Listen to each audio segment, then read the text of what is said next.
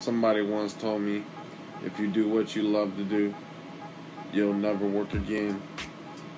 Never work again. So, as you may know,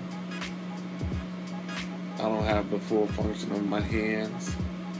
I don't have the full function of my fingers. So, when I'm creating, editing this video, I use the side of my pinky or I use my thumb to scroll through the iPad and use an iPad. It's pretty difficult sometimes and it's really frustrating at times. Sometimes my hands hurt so much, I don't even want to text. I don't even want to talk.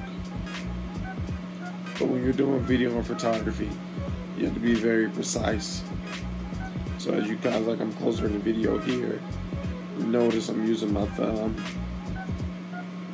as well as I'm using the side of my finger, side of my pinky, which is really hard when you're doing video photography because you want to be as precise and as perfect as possible.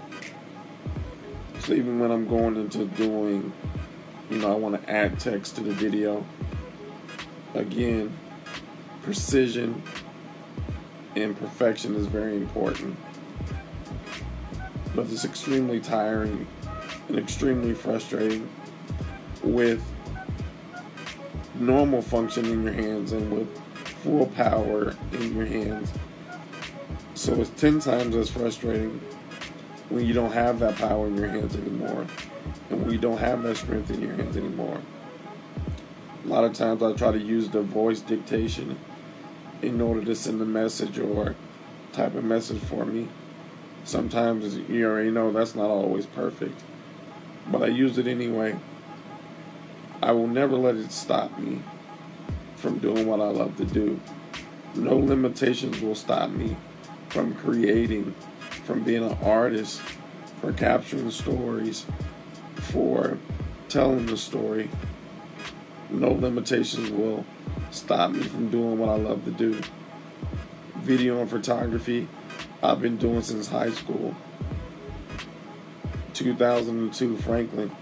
I'm still doing it 2018.